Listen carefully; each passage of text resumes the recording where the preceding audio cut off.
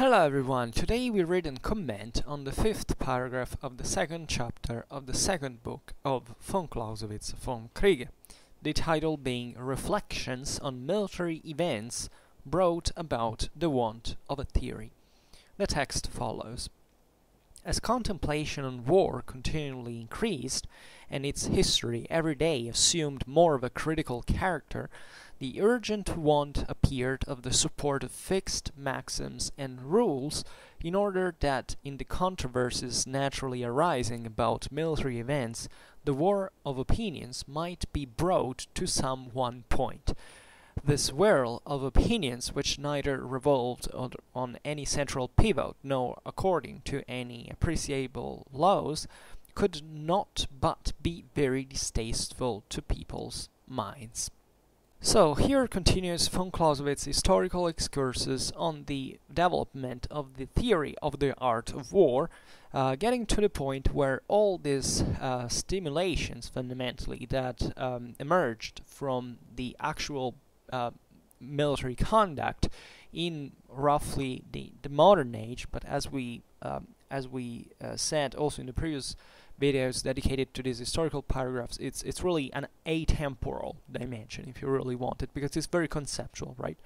Brought to the necessity of um, aware, uh, you know, awarely, um, consciously producing a military theory, right? The previous paragraph that we have uh, read was talking about the fact that the, the real conduct of war uh, was um, only made it, its appearance incidentally and incognito, right? So at the beginning, in, in a way that really didn't quite um, thought of a theoretical systematization, right? But that the more the intuitions began to, you know, the, the, the, to develop and to to show that there was an actual relation between the the advantages that the development of a more orderly thought about this um, uh, about war uh, could have a real in fact impact on, on the conduct of war. Well this is where the theory starts to be required in some ways. And the way it's achieved uh, naturally takes uh, a lot of time. We have observed how fundamentally up to von Clausewitz this development of, of, an, of a theory uh, was fundamentally uh, lacking something, right? It was a long-term process that included, in this theory, many other intuitions and thoughts that uh, were not necessarily even mistaken, but that hadn't still didn't take um, from in, in terms of a scientific approach the possibility of the construction of a theory. Mm? Always bearing in mind that a theoretical modus, um, let's say a theoretical method, uh, excuse me, a scientific method is still different from a, the concept of a science of a war that doesn't quite exist, and the Wolf Vom Kriege is built on this assumption that there is no, uh, in fact, science of war. There is no theory of the science of war. There is a theory of the art of war, right? But naturally, this theory has to have to to um, be founded on a, a, a scientific criterion, right? And and this is important because still um, in this von Clausewitz is, is, is, very clear and you don't have to get fooled by the the easy um, you know uh, word switches that you can make. Uh, the lack of a science of war doesn't mean that you shouldn't act scientifically, that is rationally and objectively when building its theory, right? And we will see how this uh, positive theory, because this is the problem.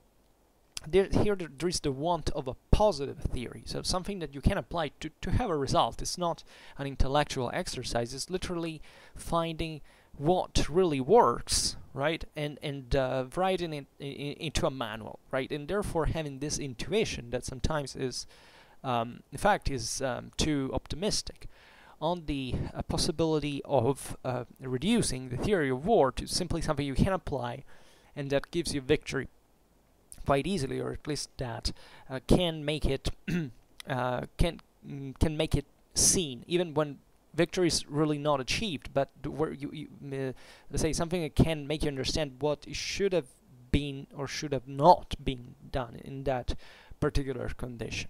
Von Clausewitz rejects naturally this optimism and this positivistic take, um, always bearing in mind that objectively, yeah, theory serves to a purpose. The same von Clausewitz says, you know, yeah, we make a theory.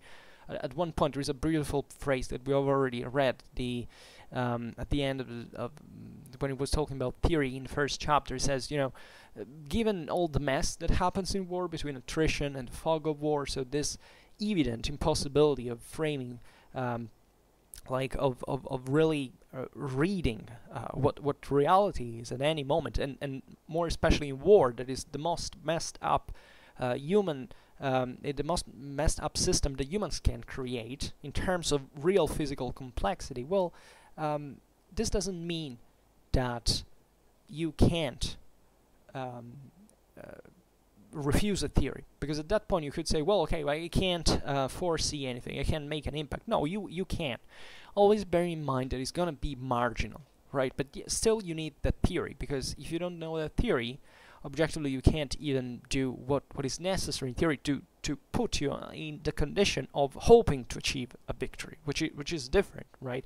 And and and this is particularly important because it's a cultural problem. Here we're talking about a civilization that starts posing itself um, such problems in the modern age right um, also in here we have distinguished already what the, the difference between the theory and practice, for which uh, the theory here does not exclude um, the practice, doesn't surpass the practice. Von Clausewitz is the main advocate for, for this uh, concept, and we will see objectively how, in fact, direct military experience is is is necessary, right? More than any other theoretical experience in absolute terms, in order to to command effectively, right, and to to achieve something um, but it's um, it's a cultural path that um, that has a, um, a, a practical aim. You know, theory serves for practice as much as practice serves for theory, or maybe a bit more uh, in the second case, right? So um, it, it's here from the title reflections on military events brought about the want of a theory hmm? So uh, it's a it's a broader reflection. It, it's a if you want an intellectual exercise, mm, which doesn't mean uh, that this is in fact a direct understanding of, of history. Sometimes it was mediated. That there were so many um, military theor theorists that objectively weren't much of military men themselves, and in that case, um, you can see in this broader Renaissance Europe how uh, war was interpreted in kind of in different ways. In, in um, and here uh, it's important because it's really about the art of war, the conduct of war, um, uh, narrow, uh, I mean properly meant, that is to be scoped, right? It's not war as something you know sparse in the in the atmosphere that you can gaze at and saying oh well that's that's what i think right in expressing your ideas your impressions your opinions right? And that's that's what makes von clausewitz so great in many ways because he he doesn't talk about this theorization that this is very often the, the prejudice that we have uh, as moderns towards certain um, theoretical constructions, right? You know, the idea that they are fundamentally abstract, that they are disconnected with reality. Von Clausewitz, um, and I'm not even talking about the uh, scholarly level, but just in, in terms of cultural approach to him at a popular level, you see that there is this fundamental incomprehension, even of what von Clausewitz wrote or what he was trying to say, what he he achieved to say actually, um, and um, and um, the the utility that this has. I, I, guess for, for many people, von Clausewitz is just one of these military thinkers, probably um, you know one of the most famous ones. But for this um, pretty silly attitude of um, you know contempt towards anybody's uh, intellectual uh, abilities, um, this idea, oh yeah, I know better. You know, this guy's writing a lot of things, and uh, you know, but real, what you really need to know about war is just three simple essence principles. You know, that's all about it. No, it's an extremely complex theory that you have to study and spit blood on in order to understand.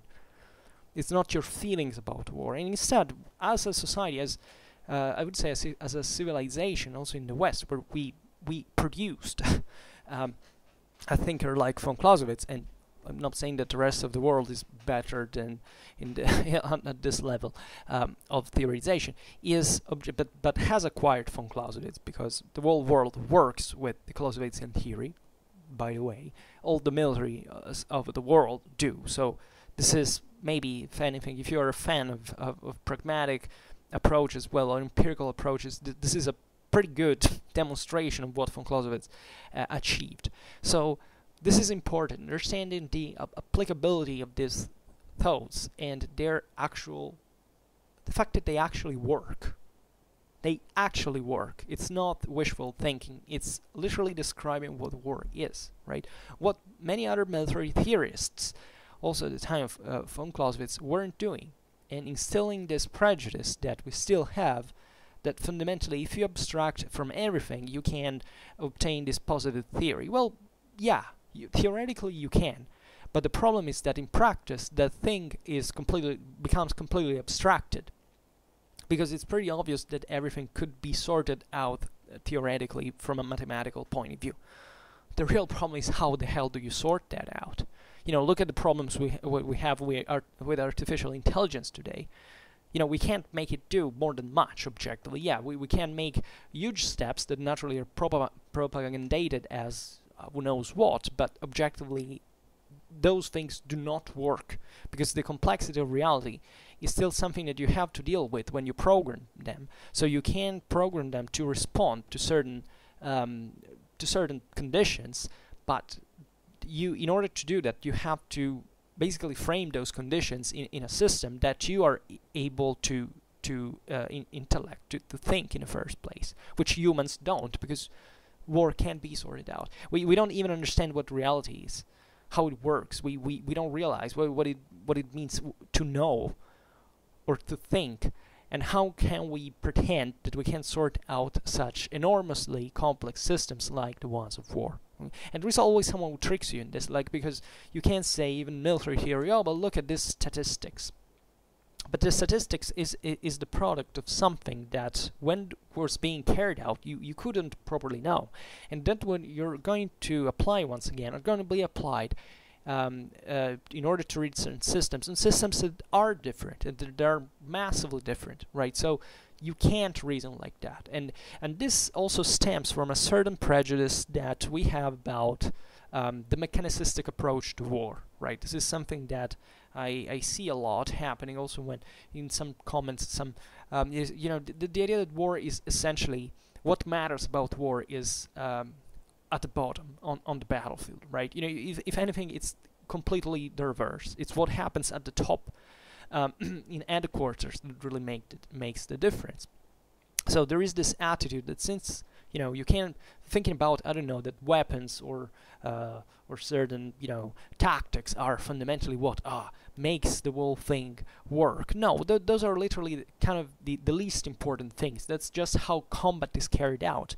Well, strategy is something enormously more complex, where you can carve this the spaces that are much more profitably um, investigable, let's say, um, in order to, to win a war. So uh, this approach that because tactics is objectively kind of the um, you know the the doctrine of the employment the theory of the employment of armed forces during combat and it's uh, it's the one among you know the, the, military theory that gives the kind of the more more positivistic um, outcomes because essentially understanding a battle is way easier to understand a war. And generally speaking yeah even from a strictly military historical point of view if you study lots of battles of a certain age etc you read sources and you you start getting more or less how it worked but this absolutely, and this is the great example, doesn't, for example, tell you in any way how you know how to predict how a clash could, could go. Every single battle is different, as every single army is different, as every single individual is different. So at that point, eh, it, it does everything doesn't matter. The the problem is finding, and this is what also von Clausewitz try, tries to do. What are the factors that can make a difference more than the ones that do make a difference right because at, at that point it's in the range of potential that the, the mass happens we will we'll see that especially when talking about uh, attrition more more in detail uh, in von Clausewitz. So these concepts are uh, very very useful for anyone who wants to approach military history in general because they they set this pattern that far by you know giving color of it they, they simply give you a, essentially a field of orientation. And then you have how to orient yourself for it. In, in other words you have to study you have to work on this stuff. And it's not easy right? It's not easy. And um, uh, you know, even there are certain battles that um, think even about what military history is. Well, what's the historian that really agrees completely with someone else, right? There are certain, um, there is always this sense that um, something better can be said or done. You know, like those um, uh, booksellers that you know, those writers, bankrupt writers that have to sell a new book on the Battle of Waterloo, you know, because they have to tell you how it actually went, as if you know we hadn't been studying it like for 200 years continuously, and everybody was a moron that didn't understand how the Battle of Waterloo went. But it, it's um, it, at, at the same time that there is this possibility of of framing. Um, uh, of getting this, it's more like a sensitivity, really. It, it, it's really it's not even intellectual. This is important, right? Because for von Clausewitz, um, for von Clausewitz, really intelligence is everything, but there has to be something extra to that, right? So you have to be able to sort out the systems mathematically, scientifically. That is to say, you know, von Clausewitz at one point says something like, um, you know, that, that that a real military historian, as every historian basically, uh, because these thoughts are applicable not just about in war, but basically any human activity, should speak just for saying, you know, uh, connecting, perfect, demonstrating perfectly, uh, you know, incontrovertibly, that one, um, you know, one cause brings to a consequence, right? And in, in within this, uh, this is a, a relatively, you know, optimistic statement that, however, von Clausewitz uses probably to, to make you understand that it's often the, the simplest things that that are the most difficult to, to sort out, right? So um, it, it's uh, everything works in the between, right? In in the way you in the joints in which you want to, to, to model this system, and this is very important, really, uh, uh, for anyone. But there is this extra uh, coup d'oeil, this um, sensitivity that that objectively only experience can give you right? It, it, it makes believe it makes a, a, lot of difference if instead of stu having studied one battle once you have studied 100 battles right? Seriously which means from the sources not from you know my youtube videos for example. Um, i try to, to bring a bit more of that complexity on, on the plate when when i speak but you know the, the, big difference is made by the actual studies of sources. And and and and you get to one point where you can start uh, you have enough uh, you know um, experience competence um, and to to apply the so-called military logic right? For which even if there is no factual evidence um, historical evidence about a certain datum you can mm, go far always maintaining that it's an hypothesis can be better or worse, but still an hypothesis, um, that something happened in a certain way, and it's mostly an analogy thinking, right? That um, goes to kind of declines why when you you start, for example, studying battles that are increasingly complex, right? You know, uh, studying, for example, ancient warfare it's dramatically easier because it's kind of simpler than studying already medieval warfare. If we're not talking about modern, modern or even contemporary warfare, it's, it's a mess. Um, because um, you have those two or three sources. I mean, that's literally it. Uh, but at the same time, you have a surrounding set of notions that you usually encounter when you study these battles that tell you that look you know since in in other occasions that there are it's not that things really happen in the same way but there are certain things you have to take into consideration. Here maybe you know nothing about but that could have played a role in here. You it starts becoming easier. Start mm, uh, you know following a thread that that is a bit of a rationalizing direction, but it's, it still pays off, I, I would say. And and I get this often from from from many videos when, uh, you know, when when um, when people ask things like, you know, did you like um, that that fixate on details, right? As if the the problem was the existence, for example, the existence of weaponry. Right? It often happens like, you know, did these people use uh, this kind of weapon? Well, sometimes you know the answer even without having an evidence, right? Um, certain weapons like uh, spears or uh, or bows or sling, I mean, they're pretty universal, um, and it's not that you know the fact that there is more or less evidence of this is uh, the proof that, that that there was actually more or less use of that, or since there is no evidence of one weapon in, in a certain century and it wasn't used, right? You know that it was there. You simply, uh, however, acquired the experience for which you know that fr from that specific time and places, um, there is no source whatsoever, and you know why because sometimes it's normal, sadly enough. Um, but uh, you you have no problem in accepting that something was very likely to be there, even if you can't see it objectively, right? So, and and there are and the, there are stereotype stereotype uh, blah, uh, okay let's forget it stereotypizations here we go uh, that uh, that follow as a consequence for example um, uh, iconography. There is a lot of uh, interest. In fact, it's mostly a, a war gamistic interest to, to picture out what did what, would that warrior in that age look like? And, and, and, and there is a somewhat accurate reconstruction based on what you know, but that becomes the, the icon of what like all uh, the, the, prototype of what all warriors of that kind should look like.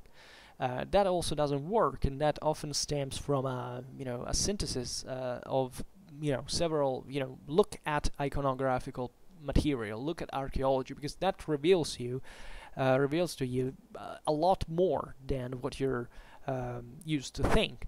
And there is also dramatic homogeneity sometimes in, in many times and spaces in history. For example, this is something I often say that uh, th there's a paradox that you know when you think about medieval warfare tendentially i'm not saying that you personally do it or that i personally do it but the tendency is that there's this great attention on uh, on combat styles and tactics, right? For which uh, the, the, the main thing, I don't know, the English during the Middle Ages was longbow, right? So the, the English armies were kind of at this point radically different from from a, I don't know a French one. It was all about cavalry, right?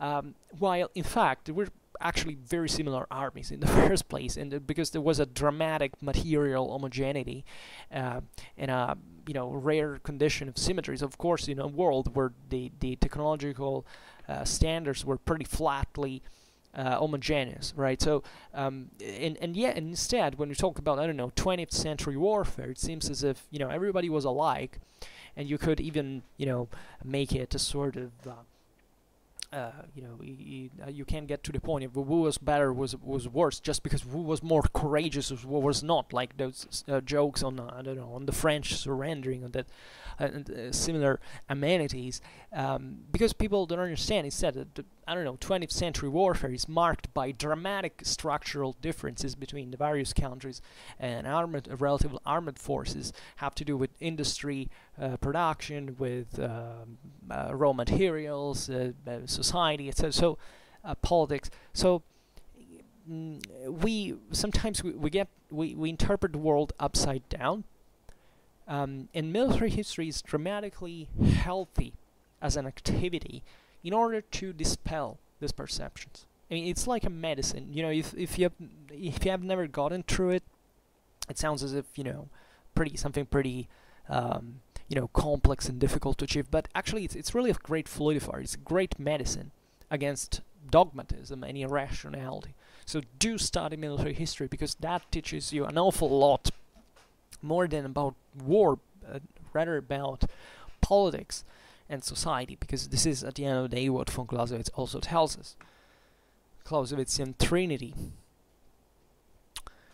Um, all right, so um, starting this uh, Von Clausewitz writes, as contemplation on war continually increased, hmm, and its history every day assumed more of a critical character, the urgent want appeared of the support of fixed maxims and rules, right? So, um, I don't know whether we can stop here in order to opinions might be.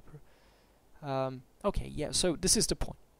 War starts to be watched increasingly, right? Because it starts getting a bigger and bigger deal. This is modern warfare. So we're not in medieval Europe where more or less every was every knight had a castle and uh, fought in that combat style. Yeah, there were a bunch of infantrymen with crossbows and pole arms, and that was pretty much it.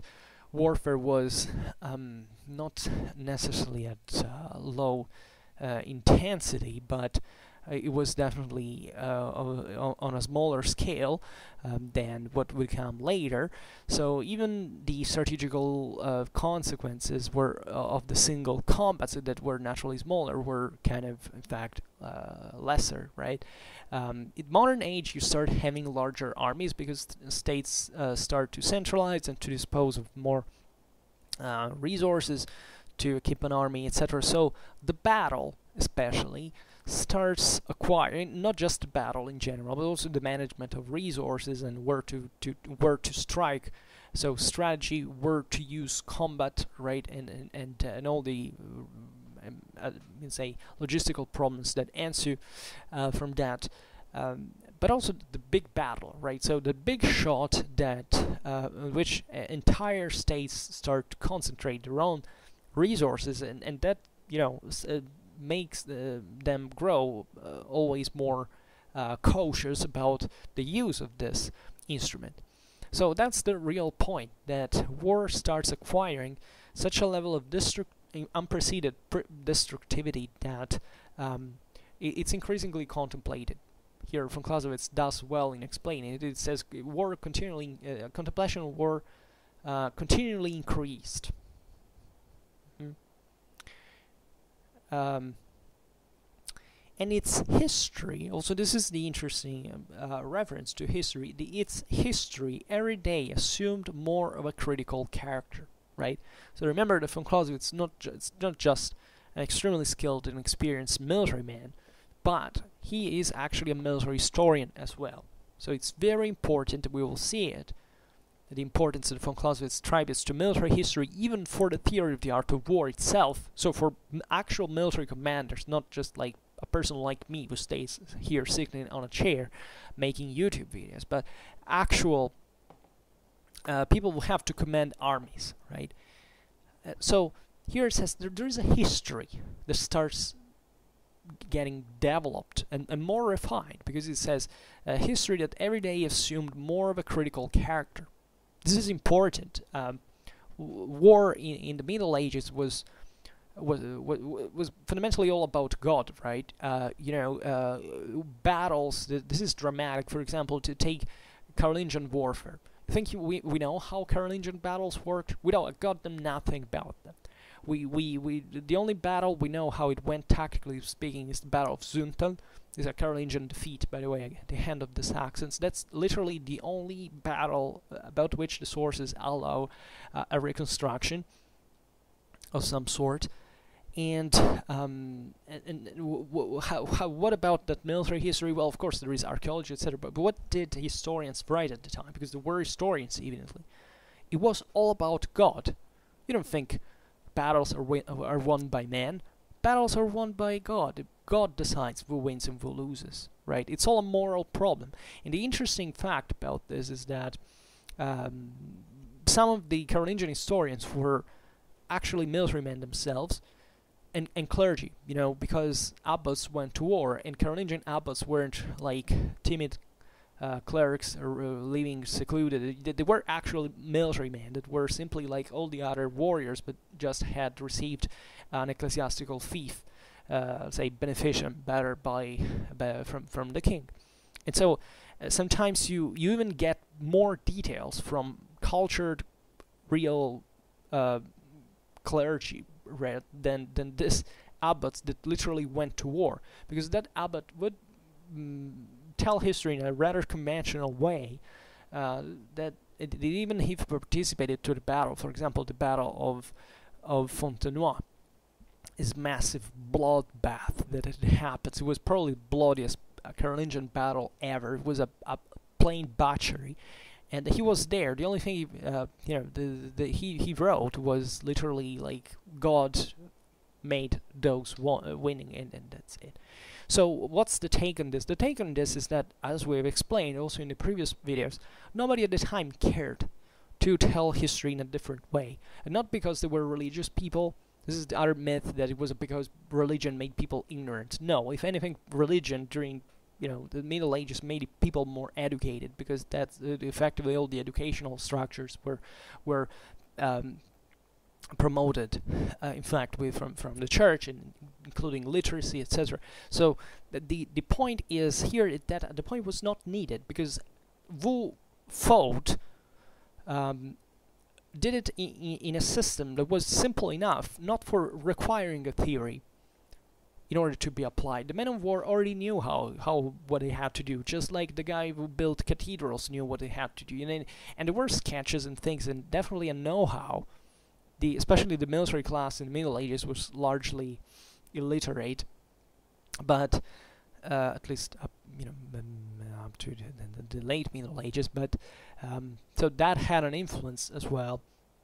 But the concept is that even if they had wanted to write about it, they, would have not developed a theory as we uh, of war at that point because they would have written in a milieu where everybody knew how how that worked it was sufficiently simple to not to make it interesting to to speculate on something that was under everybody's eyes right?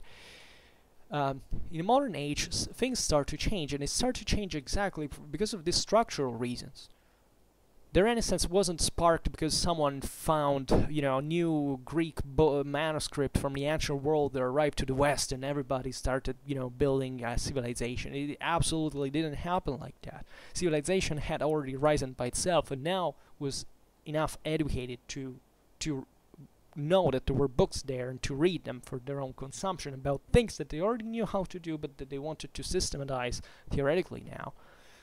Um, that's the real point. So that's how it slowly happens, and it's very slow. It's very slow because if you read a Renaissance treatise, uh, uh, at least it's not about I don't know geometry of fortifications. There is a very few um, objectivity in there. I mean, most of modern age was still dominated by superstition, like you know there were spirits and uh, and weird things happening in nature and materials, alchemy, astrology, and all that stuff. You know? Um, and it was actually a great intelligence. I mean, you think that astrology is stupid? Well, you know, try to study um, astrological treatises from from the modern age. Those are freaking complex things, and and it, it takes an, a great intelligence to to be able to develop that in the first place. So it definitely stops to a certain level, but it also um, is the reflection of a society that is starting to elaborate more and more and trying, especially something we don't do any uh, anymore now because we got too hyper specialized and we we close our eyes in front of so many things. To to have an omnicomprehensive understanding of, of, of reality. Um, and obviously you know uh, there was much less to know at the time. Uh, but um, there was this idea that you could fundamentally understand the broader sense. Not just the detail but I mean, the detail was framed into a world that that had, you know, where the detail had to have a, a meaning, a sense, a significance, right? Naturally, this was this is also a, a, a religious thinking that doesn't make things simpler. Actually, makes them, uh, you know, it, it sparks um, the, the need of of critical thinking. You know, how do I approach, especially during the Middle Ages, where you know the unity of, of, of the church was broken by the Reformation. New worlds were discovered. Uh, you know, people were literally freaking out. We, we think the Renaissance was an age of happiness, and it, it, it, like the 16th century was was a tragedy for the people who lived into it. And it was something, uh, you know, in so. But that's the crisis that sparks this new thinking. That's the crisis that pushes this man to, to, to create new patterns of interpretations, new criteria, new methods, and uh, new approaches to to science, to, to the world, right? And this include war, right? But it took centuries, in fact, up to von Clausewitz to arrive to this objective view of the, the thing, right? Um, the this is important. It, it, didn't magically. The modern age, in many ways, are much more similar to the Middle Ages that we're we're traditionally thought to to to, build, to picture them like, and uh, they do contain sometimes this em empirism or um, effective symbolism. Right, M much of the military theory that is developed during the Renaissance is sometimes just um, just a sort of decoration, right? You know, the idea, even the, the, the, the theory of the perfect formation, right? You know, formations do not have to be perfect geometrically, they have to work on the field. But yet, there were plenty of people who, who drew and thought of what the, the, perfect formation could be about, and thinking that it could apply, you know, just uh, Roman tactics uh, or, or, Greek tactics in, in, a world that was radically more advanced uh, at that point and that presented much more complexity. So they didn't know that, but they were already doing way better and were expanding this that way of thinking that had remained from the ancient world pretty stationary after all um, throughout all the Middle Ages. Um, but the, the, Middle Ages that had managed to produce now the conditions in which um, this stuff was was was in, in ferment, right? So it's, it's very important. And what von Clausewitz also stresses in this phrase is the urgency to uh, uh, support, um, um, you know, the history of war. So this is a history, first of all. Um, um this is a tale, right? Remember what we said in the previous video that um, the this mm, reflections uh, originated chiefly from, and incidentally, from in, in memoir and narratives. They didn't start from scientific treatises. They started from sometimes diaries and and and, uh, and letters and chronicles and stories, basically, right? And and here, so it's a story. It's a way of telling the story. Uh, there is this brutal prejudice towards, for for example, narrative sources that is out there that I'm, I always fight against, especially in certain countries where objectively narrative sources were way less um, developed than in others, so that this sparked this pre prejudice. But you know, you know, it, it's known to every medieval military historian that um, uh, medieval chronicles are of brutally violent importance for understanding everything about medieval warfare, right? And and you can't take them just oh no, that's narrative, so it's not real, right? Because when you start reading 100 of them and you start realizing that they're telling basically all the same thing, and that thing corresponds to all what we know about military history of the time and also other times, you start realizing that the narrative sources are actually telling the truth. And part of the reason why is that if you listen to von Clausewitz, it's exactly that. At, at the time, it was relatively easy, in fact, to understand what warfare was about.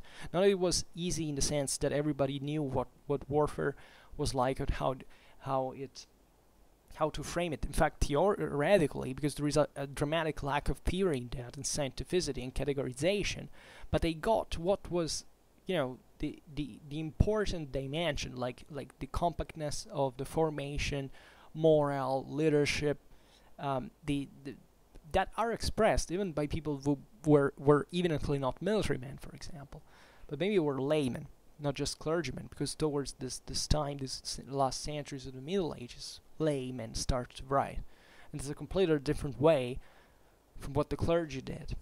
Um, so. Uh, there are new interests, right? I started, I made a video recently that is, um, I don't remember, it was humanism, subtitle was a new way of telling history, that, that explains this in part. Um, but it's a history, right? So this is not, and let let's think of what this implies. You know, a history is first of all something that has to be read by someone in some way. If it's a diary, it can even be a, be a personal diary. Well, usually not because they were mostly family diaries. At least they were very socially oriented sources. So these were this was stuff that was read by someone else and that therefore owns a certain degree of reliability because other people had to, you know, accept that it was at least plausible, right? Even plausibility, aside from realism or accuracy, here it, it's important because it's not. It doesn't even matter what what actually happened, but rather how this was framed and how it was accepted at to be plausible, right? R- realistic. Um, but secondly, uh, history requires um, kind of a temporal frame, right? The Renaissance is the moment in which you start having a broader, um, kind of a pretty standardized at that point um, perception of history, like a um, from the origins of the world. It, it actually starts since the, from the Middle Ages regularly, but you you, you this takes a, a, a deep diachronic um, interpretation of the past, and a diachronic approach is um, immensely functional to explain military affairs, right? You know, every you, you if you're a military historian worth of this name, um, you have to to be you have to look at history diachronically because war forces you to um, to to interpret history diachronically. Um, the the person who believes that in order to study a war you just start the, the, the day in which you know the first shot was fired is is is not a military story. It's not a historian in the first place, right? Um, the, the, the, there are. It's very important to understand the causes of a war, the the, the inner the inherent conflict that brings to that, and how you got to that point.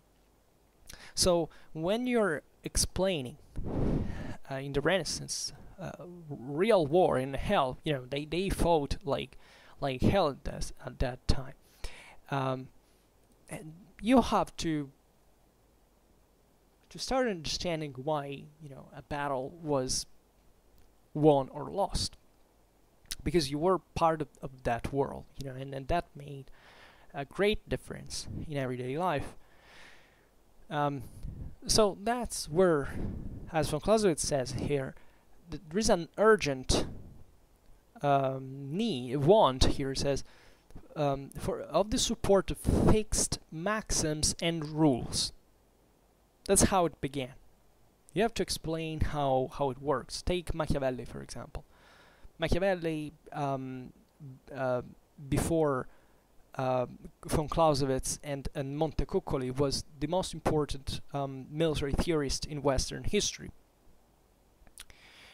And, and what does he do? You know, he he didn't actually understand much about war, but he had a pretty clear idea of what uh, how certain things worked in the first place, and he starts making generalizations. He starts saying, you know, the Swiss, for example, flagged in this way. Starts actually uh, you know, picturing what, what tactics were worked like, really. You know, in fact, the Swiss were pikemen, the, the, were the French They were mostly about cavalry and artillery, then the Spanish were, I don't remember what he says, because he actually, you know, Spanish were objectively at the time the most balanced armies.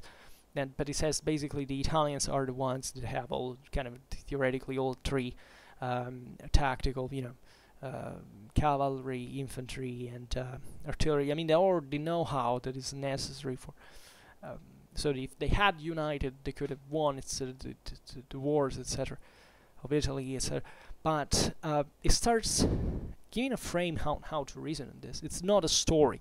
It not says Charles VIII invaded, you know, conquered Naples, and then came back. You know, it it's it's way more than that. It's it's making a theory, a theoretical distinction of certain types of military, of militaries, and of of of, uh, of tactics, and obviously scoping deeply also politics. Um, that's where it all starts really from, and that's what actually Machiavelli is most famously for more as a political theorist than a military one, but as a consequence, and if you if you know von Clausewitz, you perfectly know that it, it means basically the same. Also about war.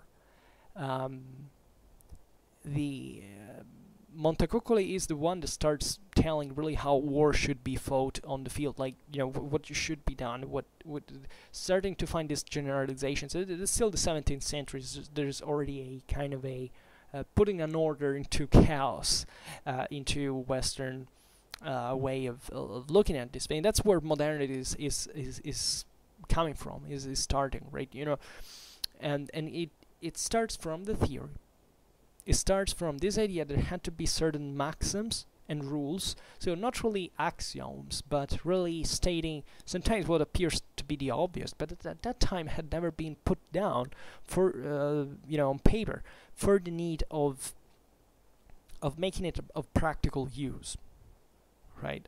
So maxims and rules, that is to say, you know, usually in battles this thing happens or at least this is, this is what may happen this is what regularly happens when you have a type of unit that, that, that clashes against another type of unit um, and similar things and, and von Clausewitz here specifies that all of this happens in order, quote, in order that in the controversies naturally arising about military events, the war of opinions might be brought to some one point. This is also an extremely important phrase because um, he, he, states the, the problems were definitely harassing the same uh, military thinkers in von Clausewitz's time is still due today, by the way, um, about the controversies naturally arising about the military events what von Clausewitz here calls the war of opinions. So there's not just a war on the battlefield, but also a war of opinions to, to figure out what happened on the battlefield. And as you know, von Clausewitz answers to this by saying, you know, even when a battle is won, we, we don't necessarily know what happened. I mean, for real, right? You know, you, you can't often say, you know, what, what was it? Was it, you know, the the messenger that arrived late uh, for the order? uh, or was it the terrain, or was it, you know, how can you do it? There is rarely a decisive event. It's a sum of factors that you, you can't quantify in the moment in which they happen, and that therefore, you know, the military historian at one point has to, to be aware of, so that uh, uh, that's why simplistic mm, explanations are stupid, right? You you can't say, oh well, it was simply like this because that guy made the choice and uh, you know that's how it happened. Mostly, yeah, I give you it's mostly a matter of choices. Like uh, intelligence, as we've seen, has that role, but um, battles are complex stuff, um, and um, even certain choices can take can have different consequences given that particular environment. Always remember, the military commander best knows three fourths of what has to be known uh, excuse me, one fourth of what has to be known. It means that what he does doesn't matter how intelligent or, or stupid. Um, it's it's only makes only one fourth of what could be done on purpose uh, uh, uh in, an aware way uh, in front of three fourths of unknown. So that tells you how even decisions are you know not necessarily what will make the difference at the end of the day. But the difference can be made by the sum of factors that of which you can't really identify a decisive one because objectively there, there is not a decisive one. It might not be. That there is not most of the times a decisive one. They're just determinant ones that altogether make things take in a direction rather than another, right? And and it's interesting that uh, the theory of the art of war emerges from a, a polemical problem at the end of the day. That it's all more polemical because this is all one with politics. It's mostly military men here, people who understand war, who have prestigious uh, offices in the state, in the army, that start writing about this stuff. And naturally, think about all the pamphlets and the uh, ferocious competition, like, you know, explaining a battle, saying, you know, the general screwed up because he was bad, you know, or, you know, maybe he was defeated just because he wasn't like you know made a difference made it had a political impact just like it, it does today. So that's why history, and especially military history, is so easy to weaponize against opponents because um, it, it, it becomes really um, you know, a matter of um, mostly of intellectual competition to prove something uh, to prove the other person wrong. You know, there is in, in you know, military history can, uh, you know, when when we, we talk about military history, we, we, we like to have tendentially this um, aggressive, um, competitive attitude, like saying, "Yeah, you're you're an idiot. Here, I'm more intelligent. You you know," it, and it's mostly of the times really a matter of intelligence, right? Uh, it's thinking things through uh, at different levels in different directions, and and being reasonable and logical, and, and not dogmatic or irrational, right? So. Uh, that's something that automatically speaking triggers this kind of interest right um, into into the theory into this and that's where abstractions sometimes take the place because um, those are positivistic thoughts that our mind is what instinctively relies on to solve situations that are apparently simple but that in this case are literally the most complicated uh, uh, complex and complicated to, to understand.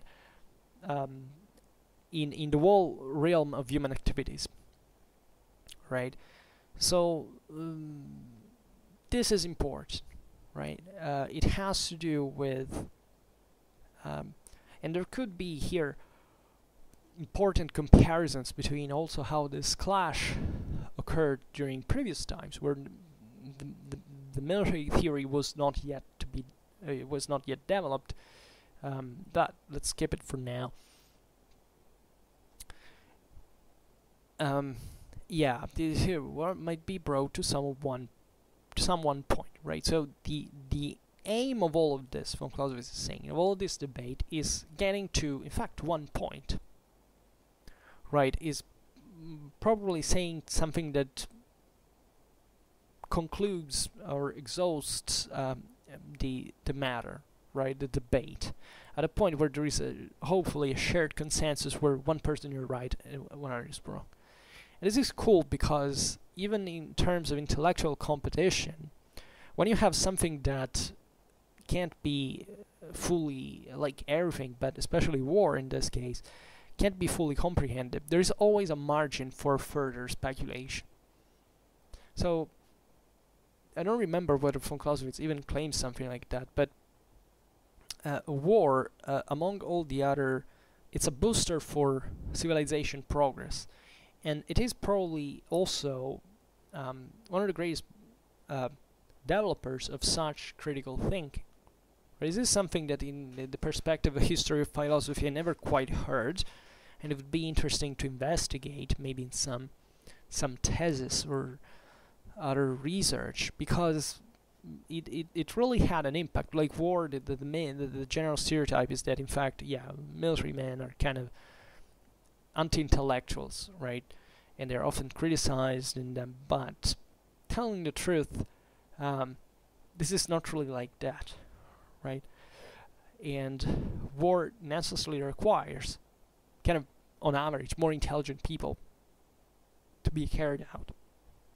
That's why there is a hierarchy that it, it becomes towards the top increasingly an intellectual one because it's about uh, it's really about making a decision at that point, not about being courageous or strong on on the battlefield. Right? It's quite a different thing, and it's not easier. It's not easier. I mean, it may be you know less traumatic, of course, and less risky, but it's increasingly more difficult in terms of the positive attainment of an achievement, right? So here von Clausewitz goes on and says, This whirl of opinions, which neither revolved on any central pivot, nor according to any appreciable laws, could not but be very distasteful to people's minds. So um, this is also important um, because here von Clausewitz reinforces the, the the problem that the interpretation of war posed, right? And the first one is that there's no fixed standing point. That was the main problem at the time. Is that objectively, you know, mm, you know, theory is dramatically useful. It's like a bit when you make, uh, you know, it's a bit like the comparison you can make between sources and historiography, right? You know, sources are like still the most important thing, but historiography is like already the interpretation of these sources from a critical point of view. So historiography is built, right, just like a theory, let's say, and it, it requires this conflictuality. But it has to start from somewhere, it has to expand somewhere. And, and, and in this sense, it's very fascinating to think of how easy the incomprehension and misunderstanding of certain objects can be, right? It's really uh, easy to make uh, a mistake of uh, of judgment, uh, you know, uh, of assessment in military history. It happens all the time. It evolves all the time. This also can be experienced by by yourself. You know, think about some military topic of yours that, you, you, find your favorite one. You know, and, and thinking how it, it, how much it took in, in order to develop and to refine, right? Um, such ideas can change very easily, and naturally, the more you put in, the more this thing complicates, especially. So it was not an easy task because it, it was not a clarifying.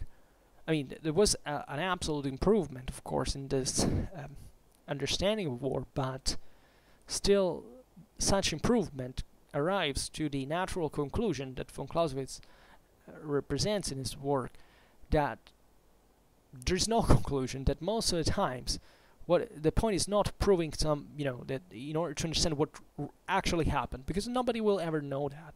The problem is how you can translate at that point your knowledge about war into something you can use to win a war.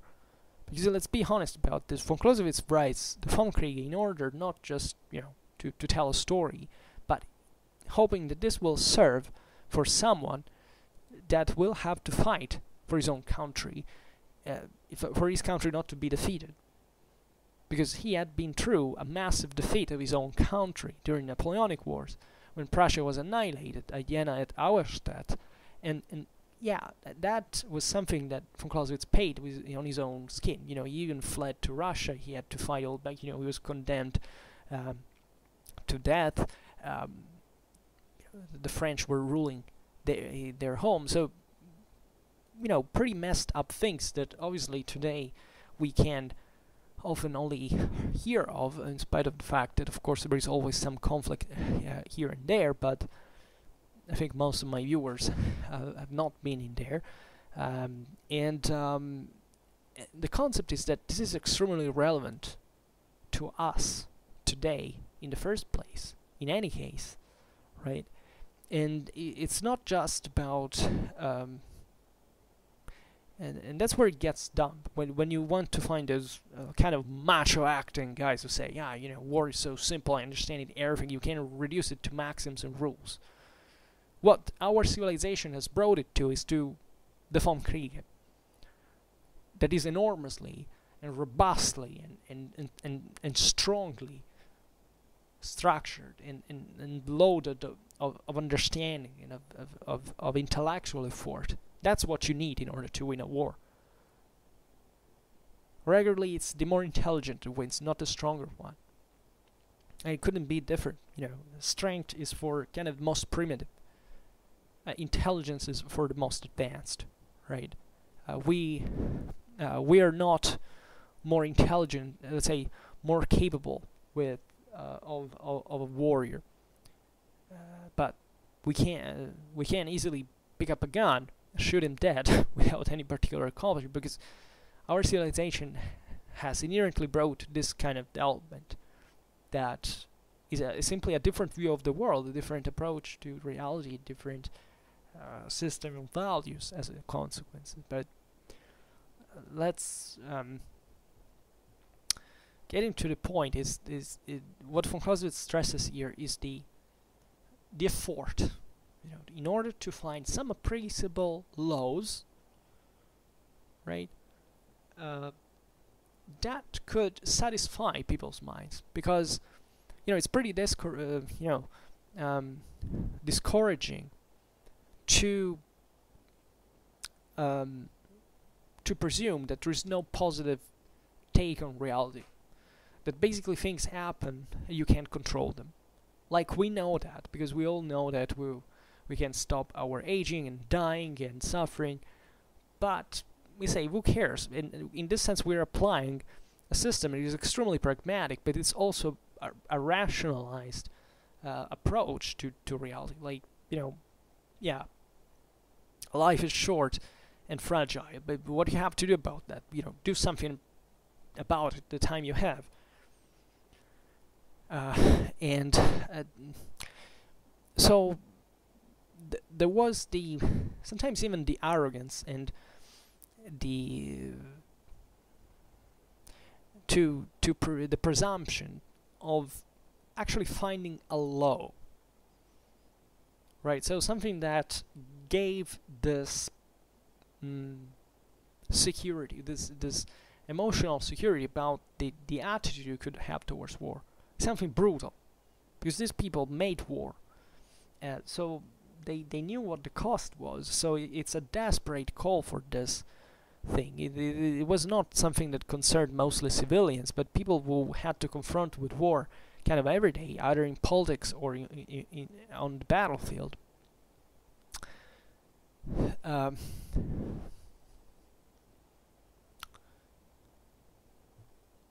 so we need a narrative. This is also very important like and how how do we reconcile the problem of um, of this impossibility of solving the problem and the fact that we have to deal with the problem well the answer is the vom Kriege of course and and this answer uh, is fundamentally that the awareness about this is already a, a, a very important step ahead and, and this is not just um, about war. This is about life in, in any aspect of it.